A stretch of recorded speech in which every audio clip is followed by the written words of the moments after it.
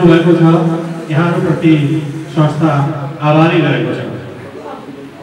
अब छिटै नै हाम्रो साधारण सभाको कार्यक्रम छिटै नै सुरु हुन गइरहेको छ। हामी औपचारिकतातर्फ अगाडि बढ्दैछौँ।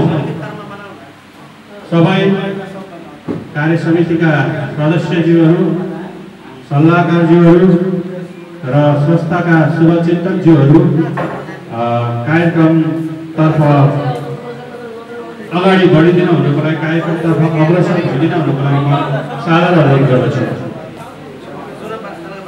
कार्तिक दस गते सातवटा साधारण सभा र अधिवेशनहरू यो संस्थाले सम्पन्न गरिसकेको छ सफलतापूर्वक अब हामी आठौँ साधारण सभा सम्पन्न गर्न जाँदैछौँ यहाँहरूको जुन शुभेच्छा यहाँहरूको सहयोग यहाँहरूको समर्थनले आज हामी यो कार्यक्रम आठौँ साधारण सभा भव्य रूपमा हामी सम्पन्न हुन गइरहेको छौँ।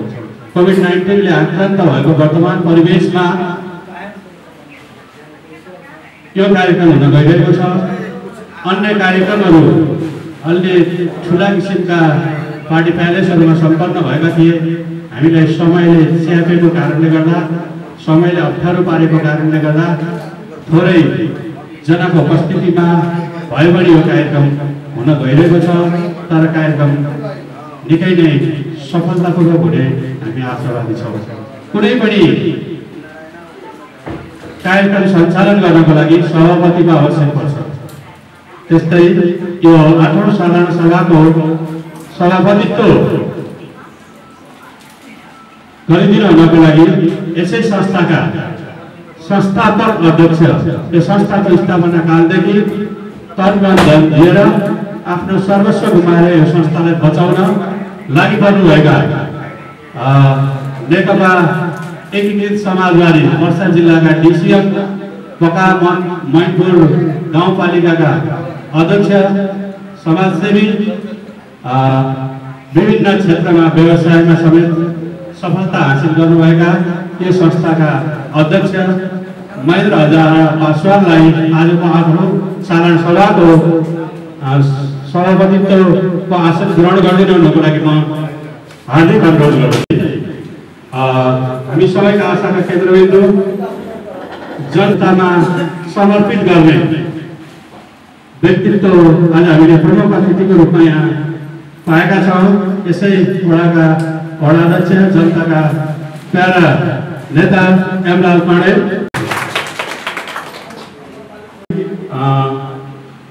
नेपाल निर्माण सेवा सङ्घ सरी निर्माण सेवा सङ्घका अध्यक्ष कुलबहादुर राई चिनुका संस्थाका सचिव स्मार्ट यातायात पालिका अ, चेयरम्यान अ, राजेन्द्र रावतज्यूलाई पनि विशिष्ट अतिथिको आसन ग्रहणको लागि म सादर अनुरोध गर्दछु। त्यस्तै मगरज्यूलाई पनि आसन ग्रहणका लागि म अनुरोध गर्दछु। चितवन स्वरोजगार निर्माण सङ्घका पूर्व अध्यक्ष चितवन स्वरोजगार निर्माण सङ्घका पूर्व अध्यक्ष सुखबहादुर विद्यार्थीलाई पनि आसन पूर्व जनप्रतिनिधि एवं तालीले प्रचार गराइदिनु है साथीहरू, है? परै भए पनि लाई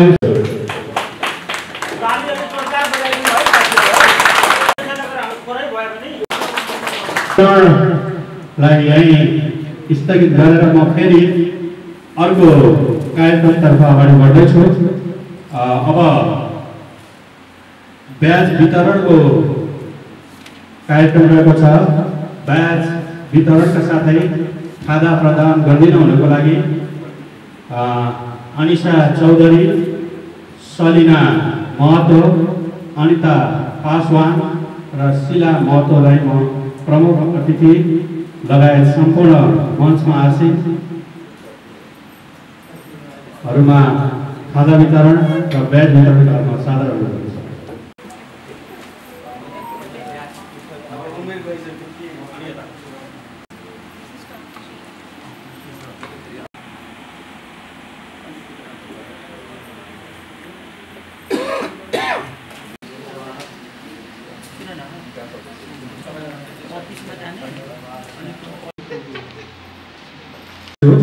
जिल्ला कार्य समिति सदस्य सन्तोष चौधरीज्यूलाई आसन ग्रहणका लागि म अनुरोध गर्दछु।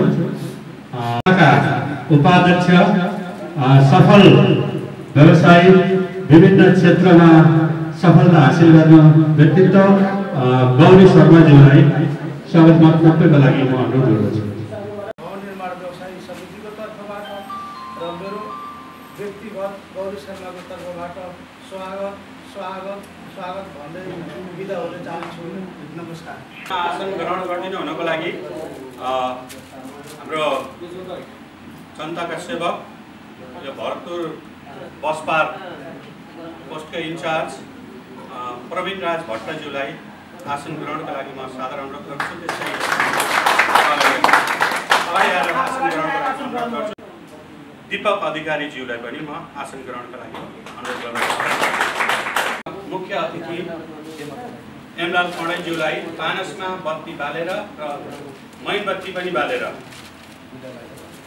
र यो ब्यानर आवरण अनावरण गरेर कार्यक्रम उद्घाटन गरिदिनु हुनको लागि म अनुरोध गर्दछु। आठ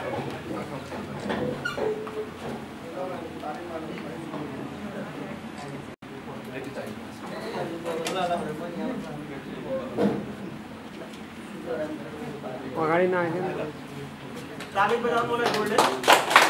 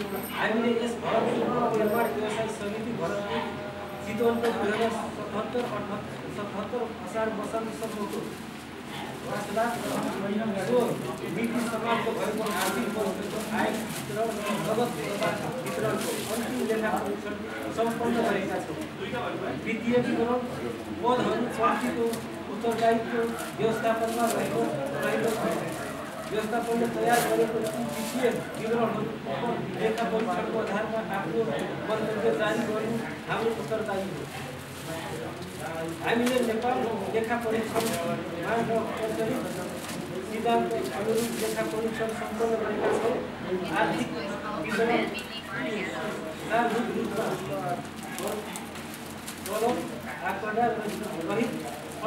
कुरामा विश्वस्त हुनका लागि सिद्धान्त अनुरूप लेखा परीक्षण सम्पन्न गरिन्छ।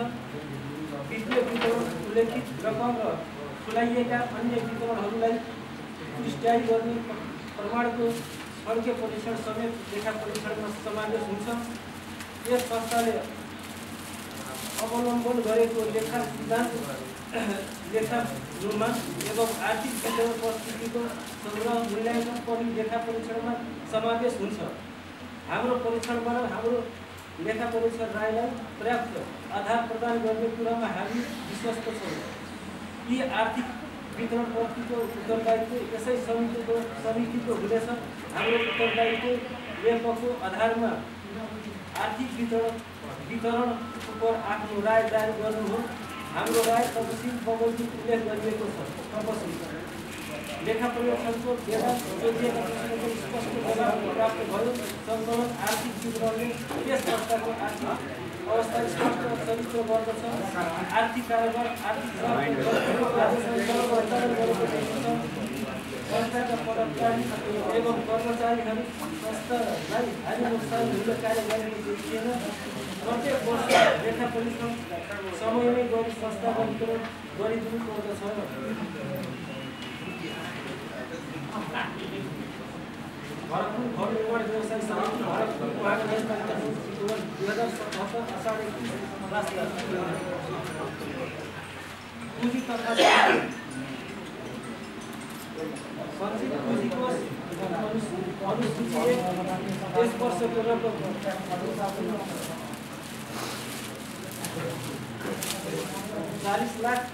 हजार चालिस लाख छ हजार छैसठी हजार उनानब्बे र गत वर्षको रकम छ लाख चालिस हजार दुई सय छिहत्तर रुपियाँ एकचालिस पैसा कल्याणकारीको हिसाब अनुसूचित जिरो जिरो अन्य दायित्व हिसाब अनुसूचित तिन छ लाख चौवन्न हजार छैसठी रुपियाँ पाँच पैसा।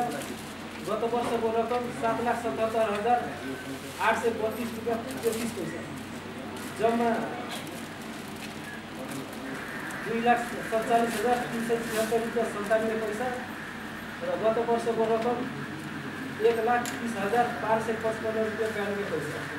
सम्पत्ति तथा आय वितरण स्थायी सम्पत्ति अनुसूचित अठहत्तर हजार आठ सय छ रुपियाँ उनासी पैसा गत वर्षको रकम एक सय एक लाख पाँच हजार पचहत्तर रुपियाँ अन्ठानब्बे पैसा ब्याङ्क नगद हिसाब सूची चार एक लाख चौसठी हजार पाँच सय उनासाठी रुपियाँ अन्ठानब्बे पैसा गत वर्षको रकम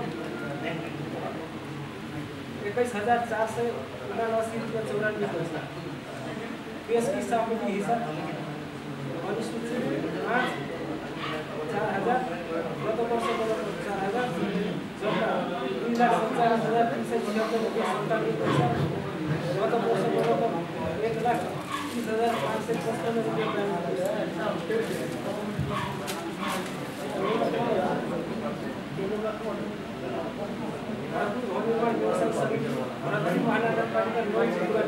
दुई हजार छिहत्तर सतहत्तर वर्ष आम्दानी वितरण अनुसार अनुसूची छ। यस वर्षको रकम एकचालिस हजार बयानब्बे हजार एकचालिस लाख बयानब्बे हजार चालिस रुपियाँ। गत वर्षको रकम अठार लाख अठार लाख तेह्र हजार चार सय चौवालिस रुपियाँ। अन्य आम्दानी यस वर्षको रकम एक हजार अठारह रुपया एक एक हजार एक रुपियाँ छ्यानब्बे पैसा। गत हजार।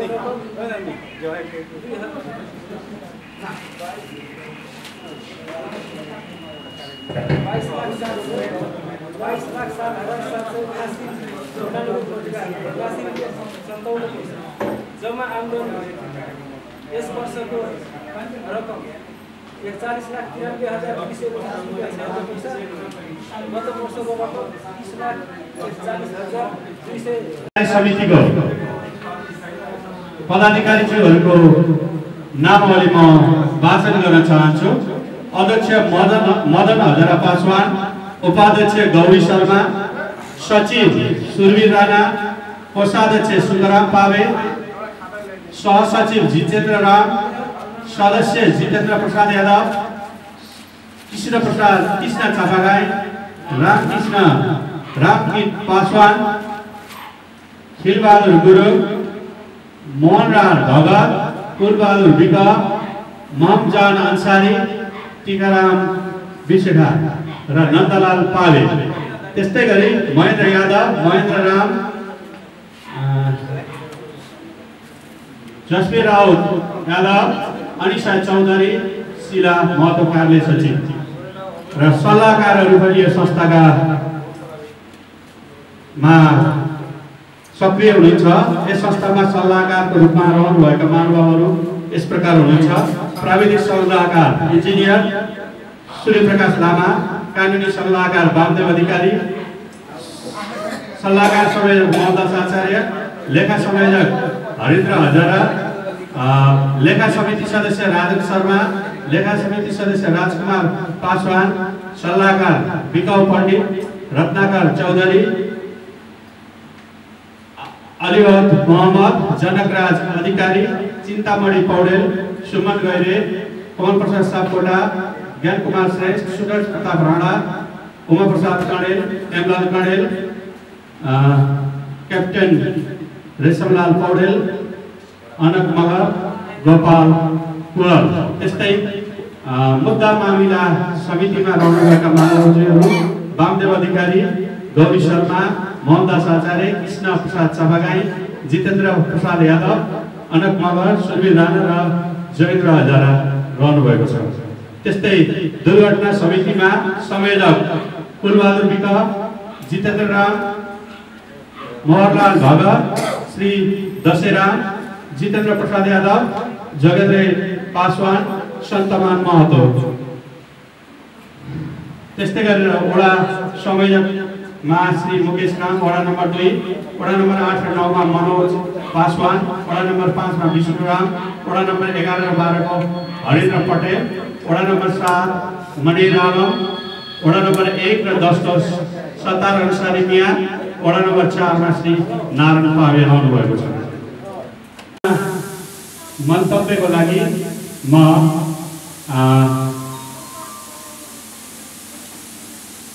यस कार्यक्रमको सुरुमै सभापतिज्यूबाट मन्तव्य राख्ने कार्यक्रम रहेको छ। मन्तव्य राखिदिनु हुनको लागि यसै संस्थाका अध्यक्ष मदन हजारा पासवानज्यूलाई म साधारण भवन निर्माण व्यवसायी समितिका आठौँ वार्षिक साधारण सभाका प्रमुख अतिथि हाम्रा वडा अध्यक्ष आदरणीय दाजु अ, चितवन निर्माण सेवा सङ्घ र जिल्ला समन्वय समितिका महासचिव कुलबहादुर राईजी र चितवन स्वरोजगार निर्माण सङ्घका अध्यक्ष कृष्ण पौडेलजी र दिपिका टोलका सचिव राजेन्द्र रावती बसपाराका अ, इन्चार्ज असै र सल्लाहकार रेशम क्याप्टन रेशम लाल पौडेलजी र जिल्ला समन्वय समितिका सहसचिव सन्तोष कुमार चौधरीजी र उपाध्यक्ष गौरी शर्माज्यू र कोषाध्यक्ष हाम्रो अ, सुकरम पावेज्यू र सम्पूर्ण कार्य समिति कार्य समिति लगायत हाम्रो साधारण सदस्यमा उपस्थित हुनुभएमा हाम्रा कर्मचारीका नानीहरू र पत्रकार मित्र र सुरक्षा कर्मीमा मेरो व्यक्तिगत तर्फबाट र भरतपुर भवन निर्माण व्यवसाय समितिको तर्फबाट म हार्दिक नमस्कार व्यक्त गर्न चाहन्छु।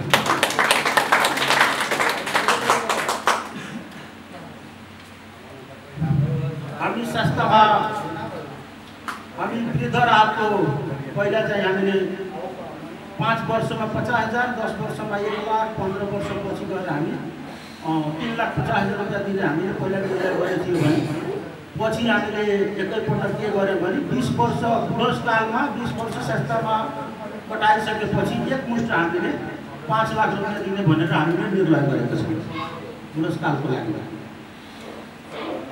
दुर्घटनामा पनि दुर्घटनाको हामी पाँच लाख रुपियाँ भएको घटनामा पाँच लाख रुपियाँ दिइरहेछौँ र उपचार खर्चमा दुई लाख रुपियाँ उपचार खर्च लाखसम्म र मृत्यु भएमा पाँच लाख रुपियाँ हामीले दिइरहेछौँ पहिलेदेखि नै दिइरहेछौँ अनि त्यो पनि अलिकति मैले थोरै जोड दिनु परेको र वडा अध्यक्षले हामी उहाँहरूको जानकारी केही गराउँ भनेर। अनि मैले वडा अध्यक्षजीसँग मेरो एउटा अनुरोध के छ भने हामी निर्माण कर्मीहरूले दुःख गर्छौँ घर बनाउँछौँ। कुनै ठाउँमा पैसा पाउँदैन कुनै ठाउँमा एक दुईवटा चार पाँचवटा दुई चारवटा ठेकेदार पनि बदमास हुनुहुन्छ भने नब्बे पर्सेन्टसम्म अलिकति धेरै देखिन्छ हामीले उपभोक्ताहरूमा देखिन्छ अलिकति।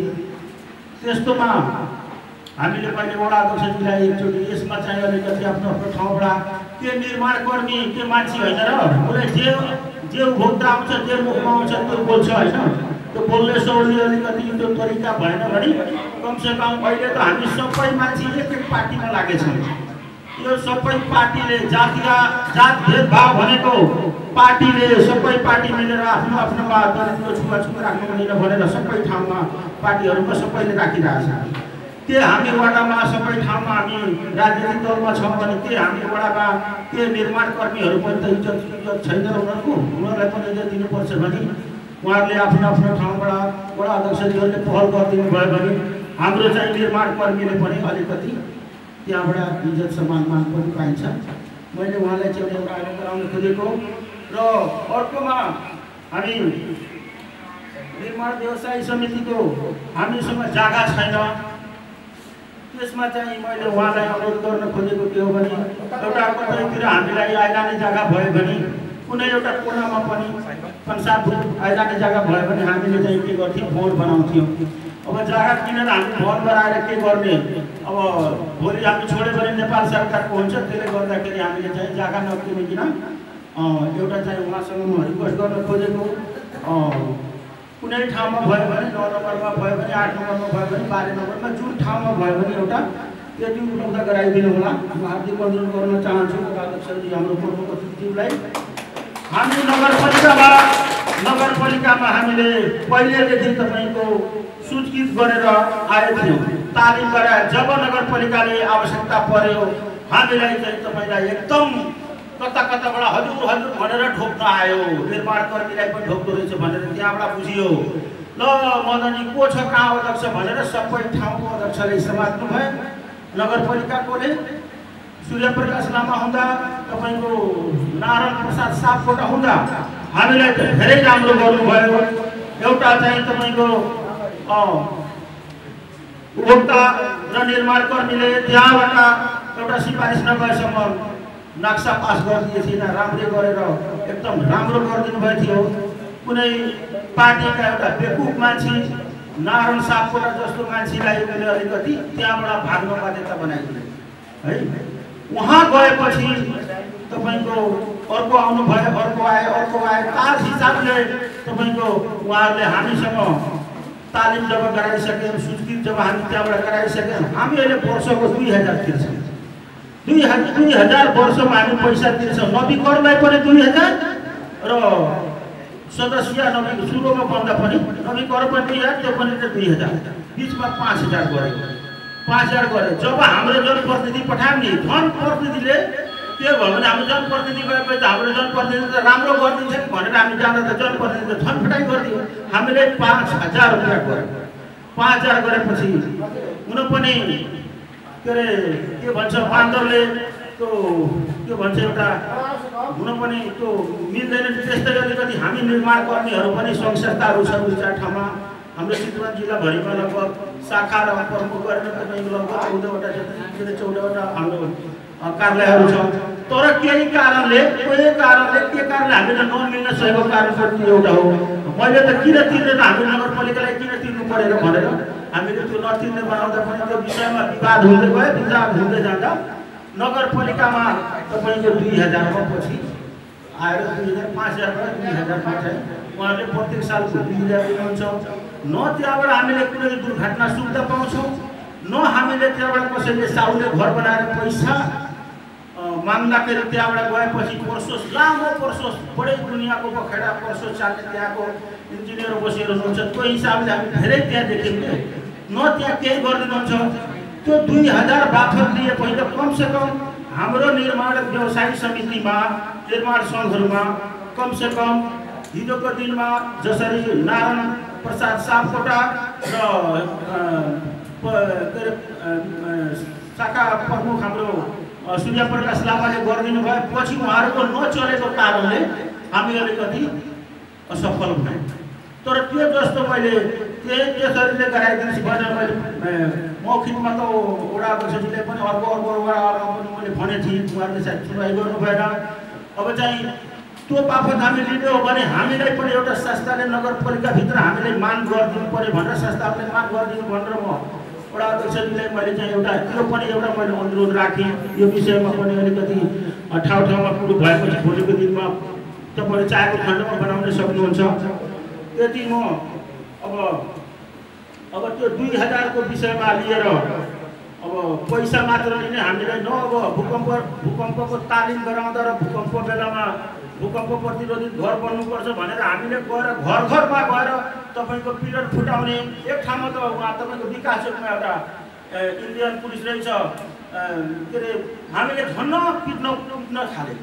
मेरो घर तिमीहरूले के भयो जसरी म बनाउँछु भन्दा पछि फर फकाइ फकाइ म सूर्य प्रकाश लामा तपाईँको जिन्दगी जाने घर हो कति भएछ पाँच लाख दस लाख खर्च भएछ त्यो दस लाख पछि उसलाई सम्झाइ बुझाइ गरेर हामीले टुटाएर के भयो भने भूकम्प प्रतिरोधी घर बनायो त्यो बनेपछि फकायो पा लास्टमा गएर नगरपालिकाले हामीलाई आउटै किन गरिदिरहेछ त्यसको लागि म अलिकति थोरै मैले उहाँलाई अनुरोध गरेँ मैले यतिको लागि म राख्छु अरू कुराहरू चाहिँ अब पछि छौँ विभिन्न समस्यासँग जुधिरहेका छौँ आजका प्रमुख अतिथिज्यूले त्यसलाई बुझिदिनुहुन्छ कि हाम्रा समस्याहरू विभिन्न छन् ती समस्याहरूलाई पनि यहाँले अवगत गरिदिनु हुनेछ भन्ने आशा राख्दै आफ्नो मन्तव्य राख्नुभयो अब पनि फेरि हामी शुभकामना मन्तव्यकै चरणमा छौँ कर्तव्य के हो टाइममा उहाँहरू खासै मैले त्यसो केही पनि मतलब देखिएन त्यो कुराहरूलाई मनन गर्दै उहाँहरूले यो कुराहरूलाई मनन गरिदिनु पर्ने देखिन्छ। हाल हामीले काम गर्दै जाँदाखेरि विभिन्न दुर्घटना घटनाहरू देखियो मृत्युहरू देखियो कति पैसा पैसाहरू दिनुपर्ने देखियो सङ्घ संस्थाबाट। त्यसमा मलाई लागेको कुरा के छ भने नेपाल सरकारले पाँच लाख रुपियाँ दिनुभएको छ त्यो त्यो त्यो ठिक छ तर घाइते हुँदाखेरि मान्छेलाई जम्मा दुई लाख रकमले चाहिँ नपुग्ने देखिरहेको हामीले। घाइते हुँदाखेरि मान्छेलाई चार लाख पाँच लाख छ लाख पनि जाँदो रहेछ। तर हामीले पीडित पक्षहरूलाई जम्मा दुई लाख रुपियाँ दियो। पैसा लास्टै लास्ट गाह्रो गाह्रो गाह्रो देखिएको देखेको थियो। र अर्को कुरा अर्को पोइन्ट हाम्रो अध्यक्षज्यू हाम्रो सङ्घको अध्यक्ष मदन पासवान हजुरजीमा मेरो के अनुरोध छ भनेपछि हजुरले कुनै पनि काम कामको सिलसिलामा कतै बाहिर जाँदाखेरि जहाँ जाँदाखेरि त्यहाँ त्यहाँ आफ्नो ठाउँमा आफ्नो कुर्सीमा निमित्त कार्यकारिणी एउटा कसैको जिम्मा लगाएर कार्य समितिमा मध्यमको जिम्मा लगाएर गरिदिएको भए मलाई चाहिँ त्यो कामहरू गर्न एकदम सहज हुन्थ्यो जस्तो लाग्छ मेरो मनमा चाहिँ किनकि अध्यक्ष कुर्सी हुन्छ अध्यक्ष चाहिँ बाहिर काममा मतलब हुनुहुन्छ त्यसले गर्दा कोही बाहिरबाट आउनु आउनुहुन्छ त्यो फ्रड गर्नु कता हुनुहुन्छ त्यसको लागि मैले मैले भन्छु हाम्रो अध्यक्षज्यूलाई फोनै नगर्नु पर्ने के? त्यो ठाउँमा अलिकति साइन चल्ने कि झटाझटा त्यहाँ धेरै आइरहेको हुन्छ झटाझटा मिलाउने उ गर्ने कसैले निरुक्त यति दिनसम्म बाहिर उहाँ गएको छ भनेर किन त्यसमा दिने लिने भनेको चाहिँ होइन? त्यो समयको लागि एउटा कार्य समितिलाई निमित्त उहाँको चल्ने राखिदिनु पर्ने त्यो भन्दा राम्रो हुन्छ अ, अर्को पोइन्टमा हामीले पहिला नै दुई तिन वर्ष पहिलादेखि नै आवाज उठाइरहेको हो। त्यो आवाजहरू अहिलेसम्म नि केही समय पनि त्यो भएको हुँदै छैन। हामीले अ, भन्नुपर्दाखेरि हाम्रो वडा अध्यक्षज्यू अ, तिनवटै संस्थाको अध्यक्षज्यूमा विभिन्न अरू के छ भनेपछि हामीले काम लिँदाखेरि हाम्रो के अरे एग्रिमेन्ट एग्रिमेन्ट गर्दाखेरि सर्टिफिकेट त्यो दर्ता सर्ता सबै मतलब अनि लास्टमा काम सम्पन्न भएपछि सरले आफै त्यो सम्पन्न लिनुहुन्छ। त्यो लास्टको सम्पन्न चाहिँ हाम्रै मार्फत अथवा निर्माणकर्मी मार्फत केही हाम्रो दायित्व भइदिएको भए त्यो सायद धेरै मान्छेहरू पैसा फस्ने चाहिँ सम्भावना हुँदैन थियो। लास्टमा गएर धेरै मान्छेहरूको पैसा फसिरहेको देखिरहेको छ पैसा पैसा वर्षहरूलाई पैसा नदिकन मान्छेले कति उधारो राखेर आफ्नो घरभित्र सहिसकेपछि कति गर्नुपर्छ त्यो चाहिँ एकदम मेजर कुरा हामी देखिरहेको हाम्रो अरूवटा अध्यक्षहरूले हाम्रो अध्यक्ष सूत्रमा एकदम पहल गर्नुपर्ने देखिरहेको छ।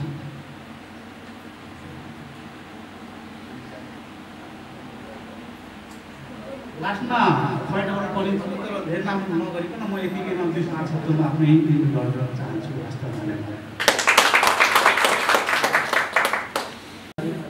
संस्थाबाट प्राप्त गर्ने जुन सुविधाहरू राहतका कुराहरू राख्दै यहाँबाट जानुभयो। अब हामी कार्यक्रमलाई छुट्याउँदैछौँ कार्यक्रम निकै छोटो रूपमा अगाडि बढ्दैछ हामी मन्तव्यकै क्रममै छौँ।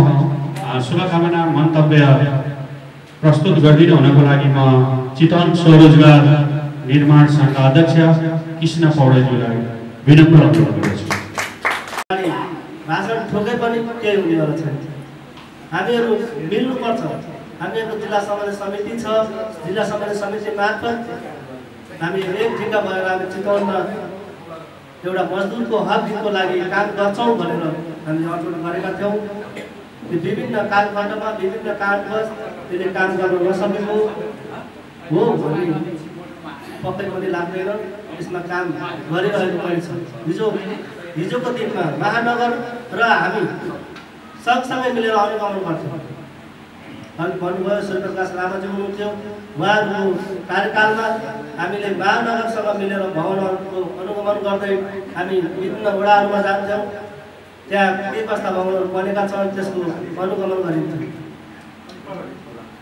यस क्रममा भूकम्प प्रतिरोधात्मक घर निर्माण गर्ने अहिले हामीले जुन गरिरहेका छौँ त्यसमा त्यस त्यस- त्यसैको उपलब्धिले आज भूकम्प भूकम्प भूकम्प प्रतिरोधी भवनहरू बनिरहेको छ। हामीले काम गरिरहेका छौँ। र अब पनि हामीले के गर्दैछौँ भने यसलाई अनुगमन गर्नको लागि पश्चिम चितवनमा तिनवटा संस्था छन् यसको शाखाहरू छन्। पश्चिम चितवनमा एउटा भवन निर्माणले मात्रै अनुगमन गरेर पुग्दैन। भवन निर्माणकोले मात्रै अनुगमन गर्यो। भोलि चितवन स्वरोजगारले मात्रै अनुगमन गर्यो। भरतपुर निर्माण सेवा सङ्घले मात्र अनुगमन गर्यो भनेर त्यसले सार्थकता त्यसले पूर्णता पाउँदैन। किनकि हामी मजदुरहरू चितवन स्वरोजगारमा रहे पनि भवन निर्माणमा रहे पनि र निर्माण भरतपुर निर्माण सेवा सङ्घमा रहे पनि हामी मजदुर बनेका हौँ। हामी सबै मजदुर एक हुनुपर्छ। एक भएर मात्रै हामीले आफ्नो कार्यलाई आफ्नो कामलाई र हामीले हाम्रो एउटा त्यो काम होइन हामीले एउटा अब यसलाई व्यावसायिक रूपमा यसबाट नाफामूलक हिसाबले काम गरेर हिजो छाप काटिन्थ्यो हिजो हामी काम छाप काट्नको लागि गर्थ्यौँ हिजो दिनभरि कमाएर बेलुका खाने गर्थ्यौँ। अब हामीले दिनभरि कमाएर बेलुका होइन हामीले कमाएर केही गर्नु छ हामीले आफ्नो परिवार आफ्नो जीवनको स्तर पनि उकास्नु छ। दुई पैसा त्यहाँबाट कमाउनु पनि छ। त्यसको बचत पनि गर्नु छ र यसलाई सम्मानजनक रूपमा कमाउनुपर्छ भन्ने छ किनकि हामी काम गर्छौँ काम गरेर कसैको गाली खान्छौँ गाली हेपाई र कसैले तत मम गरेर होइन कि हामीले सम्मानजनक रूपमा हामीले आफ्नो निर्माण क्षेत्रमा आफ्नो कला देखाउने आफूले काम गरेर राम्रोसँग काम गरेर दिनु। त्यसले गर्दाखेरि उहाँहरूले पनि हामीलाई सम्मान दिनुपर्नेछ र हामीले पनि उहाँलाई सम्मान गर्नुपर्नेछ। हामी कतिपय कुराहरू के गर्छौँ भने काम त गर्छौँ।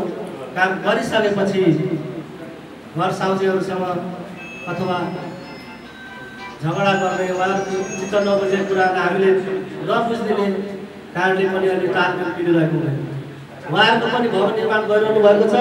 उहाँहरूले पनि लाखौँ रुपियाँ त्यहाँ फसाउनु भएको छ। त्यसलाई हामीले समन्वयकार रूपले राम्रो र राम्रो र नराम्रो नराम्रो हिसाबले उहाँलाई सम्झाएर बुझाएर भवन भूकम्प प्रतिरोधी भवनहरू बनाउनलाई हामीले सहयोग गर्नुपर्दछ। र लास्टमा म अलिकति जिल्ला समन्वय समितिको कुराहरू जोड्न चाहन्छु। जिल्ला समन्वय समिति हामीले अहिले नयाँ समिति गठन गरेका छौँ। यसमा पहिलाका विभिन्न पदमा रहनुभएका साथीहरू उही पदमा यथावत राख्दै हामीले जिल्ला समन्वय समितिको समितिलाई पूर्णता दिएका छौँ। त्यसैले त्यसैले हामी मूलभूत हाम्रो उद्देश्य के हुनुपर्छ हामी के का लागि लडिरहेका छौँ सङ्घर्ष गरिरहेका छौँ? केवल हामीले व्यवसाय हामीले काम गर्ने हिजोको दिनलाई सम्झिँदै गर्दा तपाईँ हामी एक्ला एक्लै काम गर्दै गर्दा हामी कति हेपिएका थियौँ चेपिएका थियौँ होइन? अहिले पनि त्यो अहिले पनि त्यो जारी छ।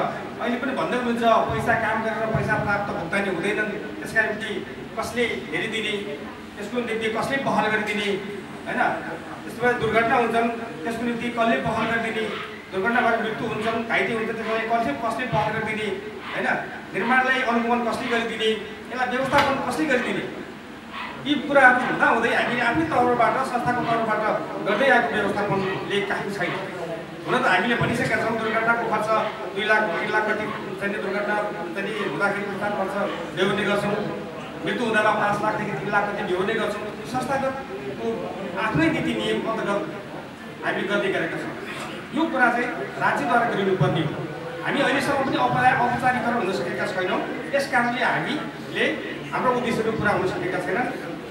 यो कुरा चाहिँ यहाँ अहिले हाम्रो स्थानीय सरकारका वडा जो पनि हुनुहुन्छ। यहाँले पनि जानकारी होस् हामी निर्माण कर्मीहरू औपचारिक हुन नसकेको कारणले औपचारिक भनेको हामी सरकारसँग दर्ता हुन सकेका छैनौँ। केवल संस्था दर्ता भएको छ। निर्माण कर्मीहरू एक्लै छन्। दर्ता बिन संस्था छ त्यसैले हामी नगरपालिका अन्तर्गत हामीले त्यो अधिकार प्राप्त गर्नका निमित्त सूचीकृत प्रणालीको व्यवस्था गरेका थियौँ। सूचीकृत प्रणालीको व्यवस्थामा केही समय के अरे सत्तरीदेखि बहत्तर त्रिहत्तर सालसम्मका घटनाक्रमलाई हेर्ने भने महानगरपालिकाको एकीकृत योजनामा र सहकार्यमा हामीले गरेका प्रयत्नहरू सफल सफल भएको थियो। महानगरपालिकालाई पनि सजिलो भएको थियो। निर्माण कर्मीहरू पनि एउटा अन्डरस्ट्यान्डिङमा एउटा नियमनमा निर्माण गुणस्तर निर्माणको कार्यमा अलि अगाडि बढिसकेको थियो।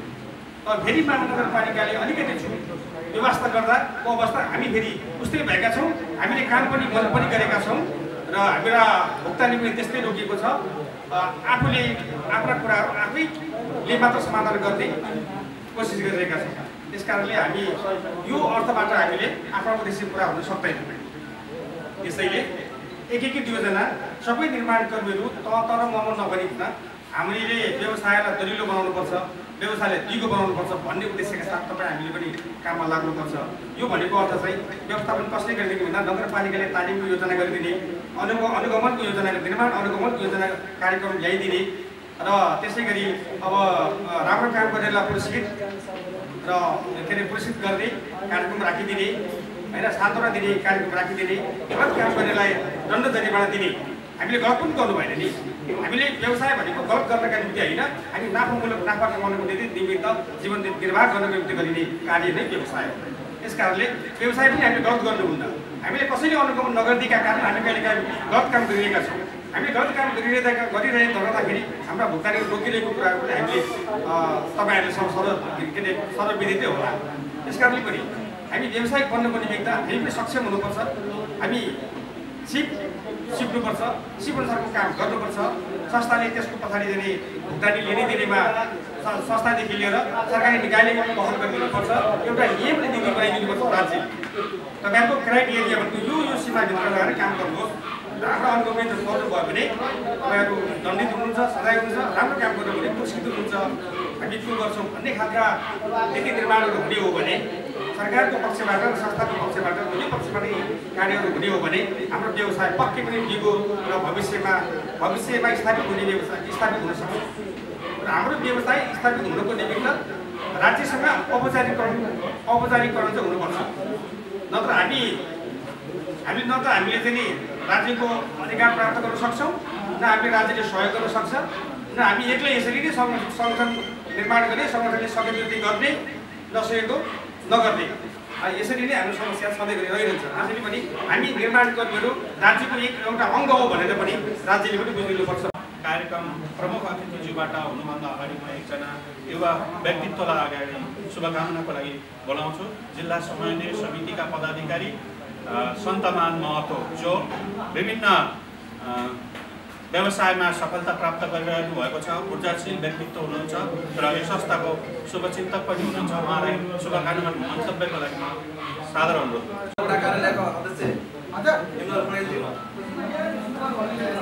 हाम्रा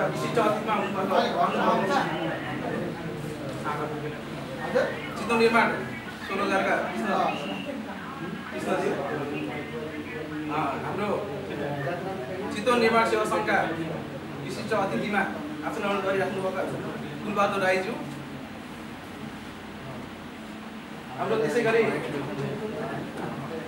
हाम्रो यो आठौँ वार्षिक साधारण सभामा आउनुभएका विशिष्ट अतिथि अतिथिहरू र हाम्रा यस मञ्चमा आसीन सबै साथीहरू मिडियाकर्मी लगायत हाम्रो सुरक्षाकर्मीज्यू हरूमा मेरो व्यक्तिगत तर्फबाट म सम्मान महतो व्यक्तिगत तर्फबाट र भरतपुर नौनिहाट व्यवसायिक समितिको तर्फबाट हजुरहरूलाई नमस्कार गर्न चाहन्छु।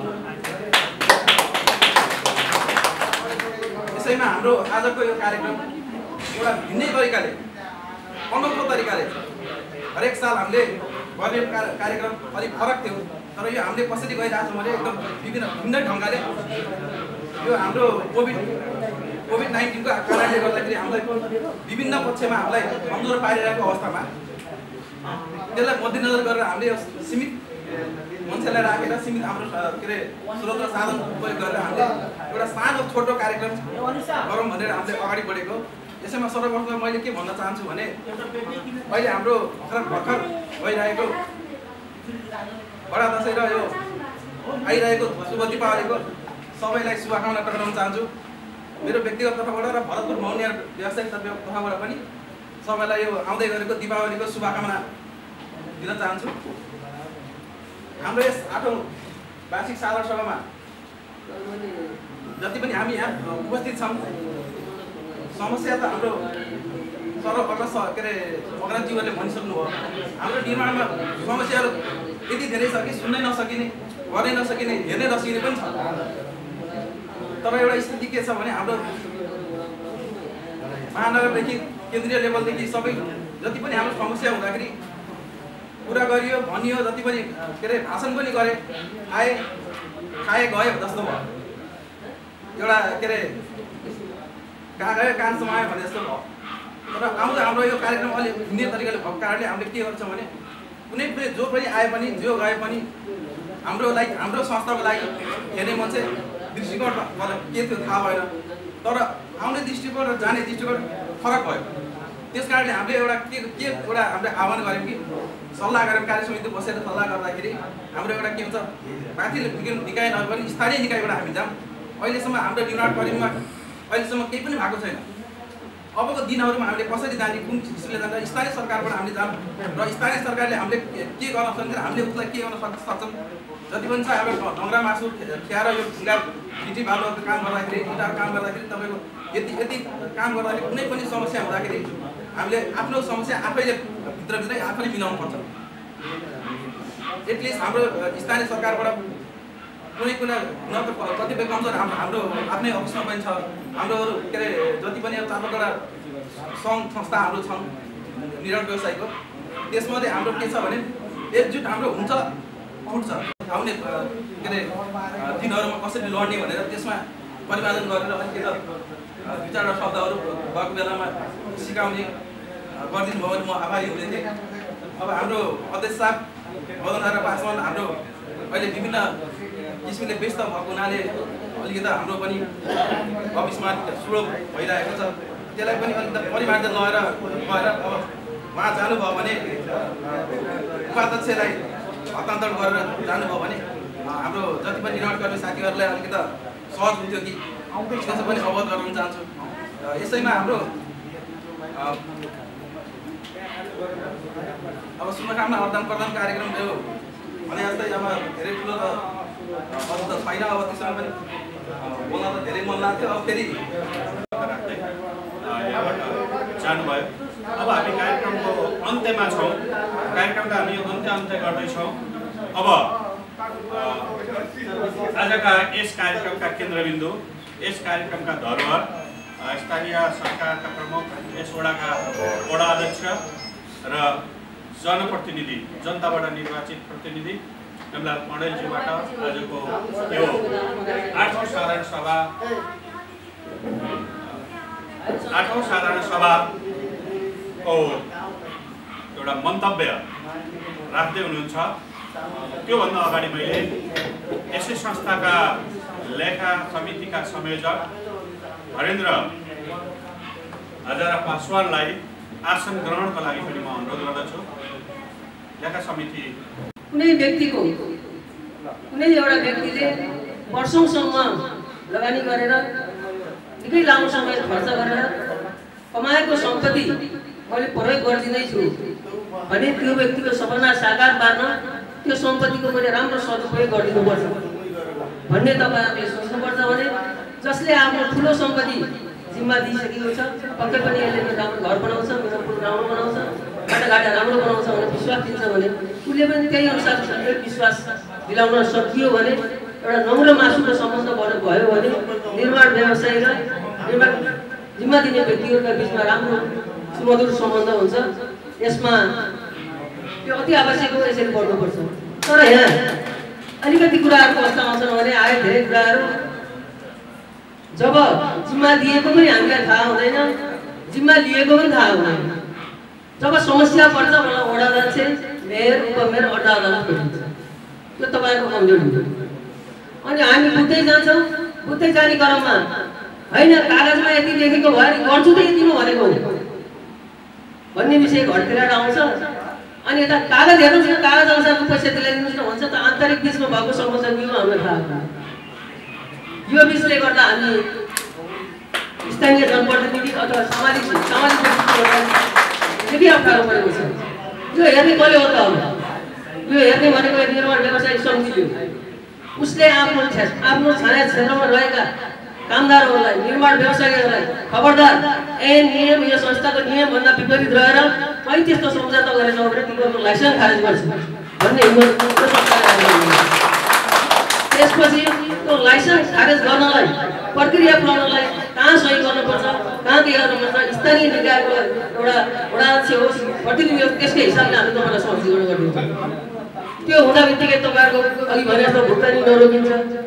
न भुक्तानी कसरी दिन ढिला गर्छ न वडामा आएर मध्य मामिला गर्नुपर्छ जब तपाईँहरूको बिचमा लेनदेनमा कुरा मिल्दैन बल्ल यो ठेकदार अथवा निर्माण तपाईँ कर्मी रहेछ त्यसले घर बनाउँदै रहेछ भने हामीलाई थाहा हुन्छ नत्र त्योभन्दा अगाडि हाम्रो थाहा हुँदैन तपाईँले के गर्नु पर्यो हो तपाईँले सम्झौता गर्नुहोस् सम्झौता गरिसकेपछि त्यो सम्झौताको बोधा त ओडामा जुन घर फेर घर घर धनी र काम गर्ने ठेकेदार बिच सम्झौता हुन्छ त्यो सम्झौता सके ओडाइमा आएर ओडाको रोगमा सम्झौता गर्नुहोस् होइन तपाईँहरूले कार्यालयमा सम्झौता गर्नुहुन्छ भने त्यसको पदार्थ.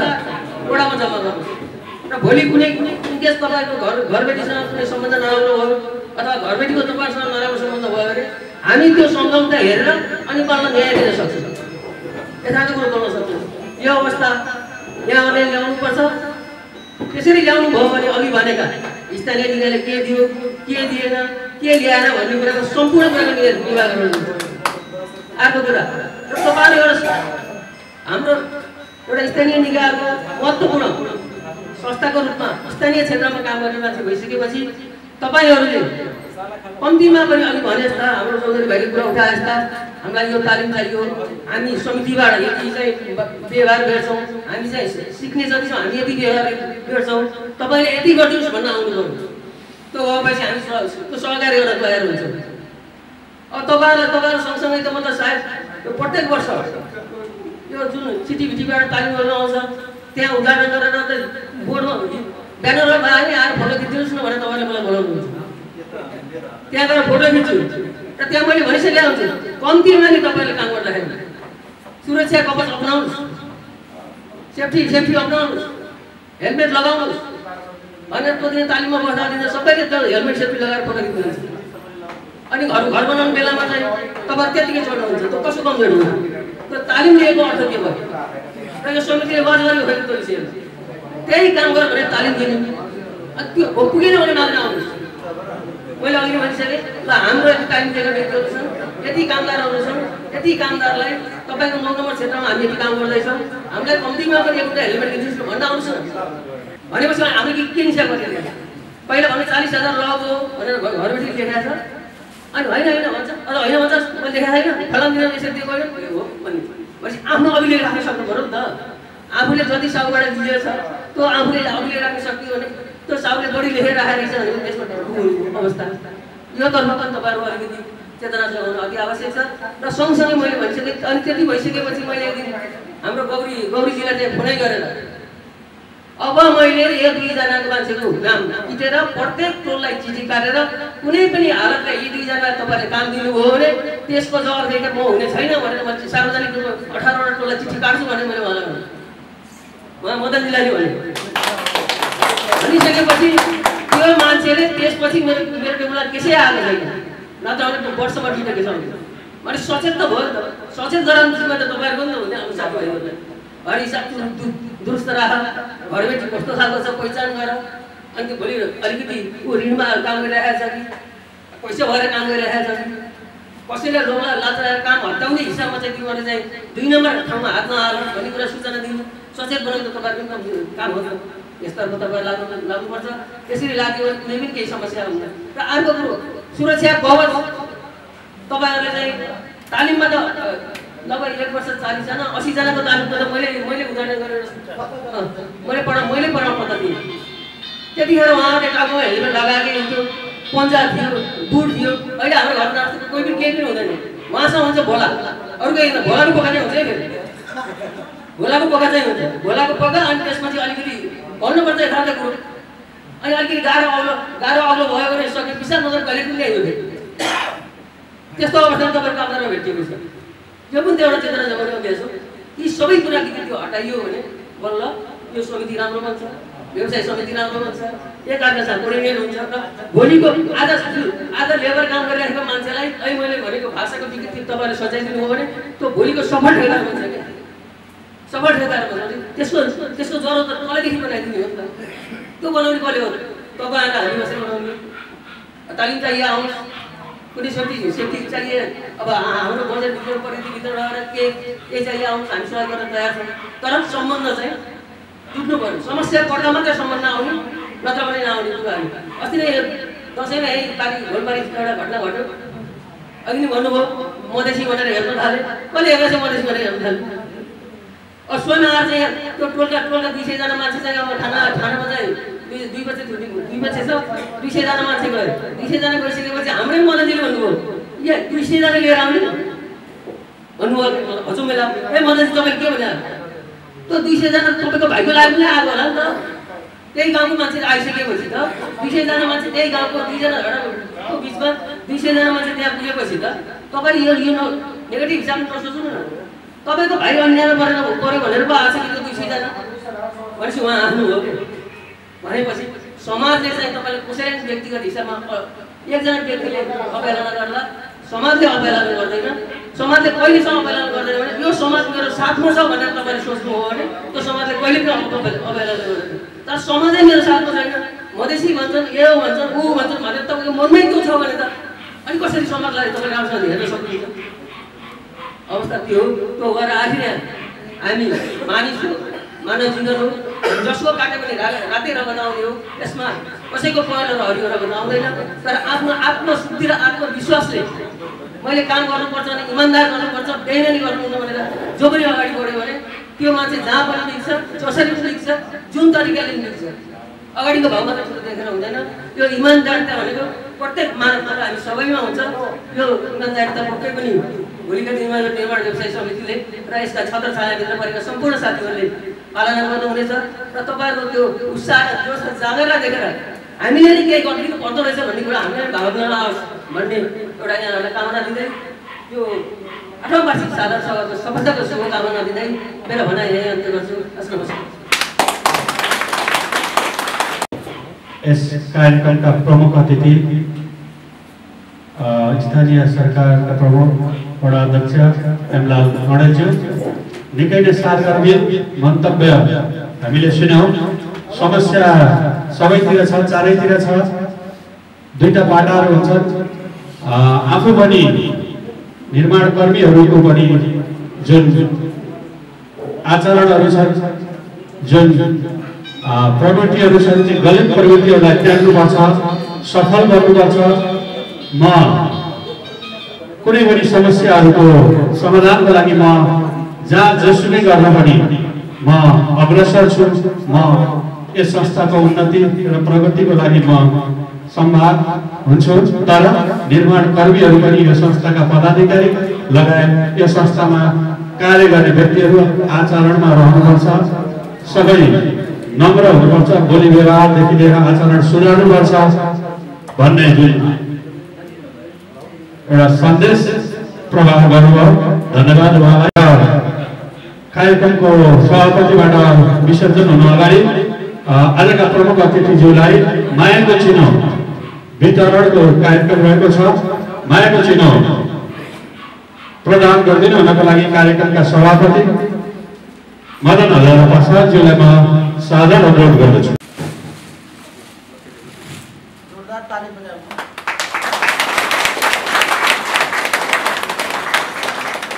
महेन्द्र हजार प्रसादज्यू मलाई आजको यो आठौँ वार्षिक साधारण सभा जुन भव्य रूपमा सम्पन्न भएको छ सभ्य रूपमा सम्पन्न भएको छ यसलाई समापन गरिदिनु हुनुको लागि म उहाँलाई हार्दिक अनुरोध